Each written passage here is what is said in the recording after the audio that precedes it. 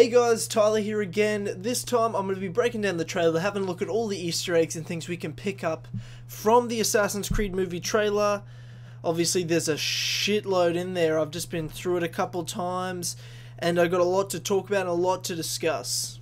First of all, obviously the opening shot is actually the modern day version of the Spanish city, and this Abstergo facility is in the same place as in the Spanish Inquisition, where we go back with the ancestor. As you can see in the opening shot, it has the same main bell tower we see later on in the trailer. We find out that they erased Callum Lynch's life, he's our modern day protagonist, and we found out that in fact they actually executed him which looked like when they had this like chemical they slowed down his heart of, in some sort of way and because of that, he's died. They've been able to erase his existence, say he's dead now, so that no one's going to be looking for him and he's not missing.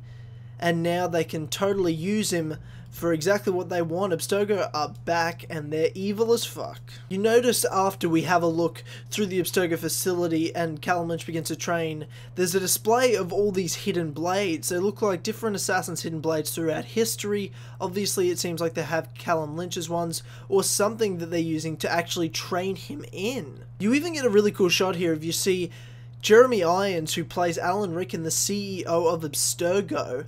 We've seen him a lot throughout different writings and things like that of Assassin's Creed, but never really got a good look at him. And Jeremy Irons is such a great actor and really cool person to play such an important role in this movie. The crazy thing is they actually place these weapons, like I said, onto Callum Lynch before he heads into the Animus, which is a bit strange at first, but when you actually get a look at this new Animus, it's nothing like we've ever seen before in the games. It's a crane that attaches like a belt to you and gives you mobility to move. So instead of a helix or the old Animus, which are chairs or like a freaking bed, this is actually gives you the chance to do all the movements. So you're able to learn the bleeding effect by actually doing the movements, and he's literally like a VR playing his ancestor in front of everyone watching and doing all the moves from this crane. So that's why they place the weapons to get his body used to everything on it. When we get our first cool shot of this beautiful city back in the 15th century, of course, you have a nice little shot of the eagle flying around the bell tower.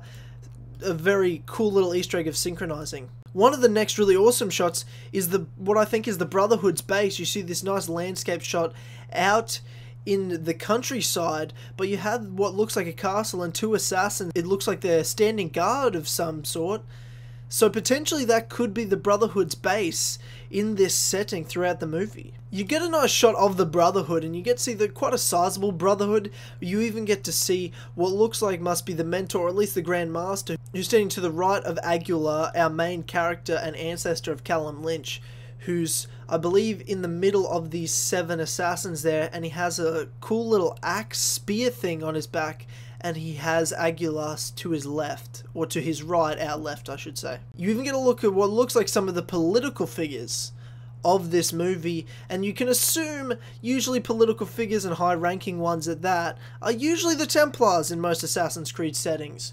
So that's something interesting to note also, especially since we see the assassins chained up and look like they're going to be executed. I also wanted to note the awesome cinematography in this trailer and the epic shots you get to see throughout it. You've even got a mad air assassination throughout there that I thought was a really cool thing that they've put in. They're really fitting in all the game styles into this movie, trying to keep it as close to the game while creating their own mark on it. You get to see some of the insane parkour these guys are doing. I remember maybe a year ago there was a rumor of someone saying they weren't going to have as much parkour in it because it's so unrealistic. Well, doesn't look like it at all and I'm happy to hear it that we're going to have plenty of awesome parkour throughout the movie. You get to see um one of the main supporting characters, the assassin, whose name is Maria, I believe, and you actually get to see that she has a very interesting hidden blade. She has two blades on each of her wrist blades that stick out. Something I've never seen before. Very unique style, and I like all the costumes of all the assassins, but the fact that they've got their own distinction with their blades and their weaponry. Callum Lynch, even outside of the Animus, he's not only doing all the moves when he's connected to that Animus, but he's training with the bow and arrow, and they're kind of having a couple mirroring shots of Callum Lynch doing stuff and Aguilar doing the same thing. I see a little cool Easter egg that I think might even be a little Easter egg towards Leonardo da Vinci's War Machines in Assassin's Creed Brotherhood. You have this cool little crossbow like a turret attached to this carriage, and it's similar to the one you see in Assassin's Creed Brotherhood where you have one of those gun mounted on those carriages that Ezio has to destroy, and I thought maybe it's a cool little throwback to the Da Vinci design, especially because it's in the same time period, or maybe it's just its own thing, but I think it's cool either way.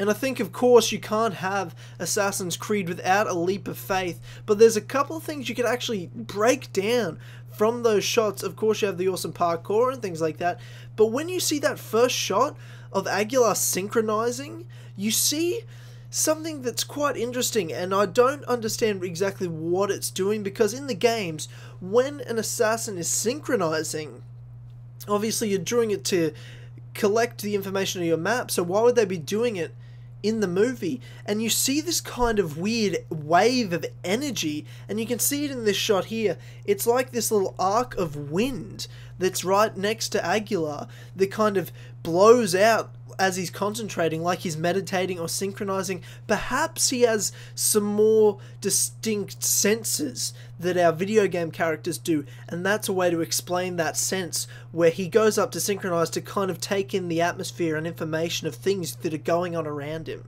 And of course, you get an awesome leap of faith shot as he goes down the tower, and you even see the hay bale at the top of the roof down the bottom.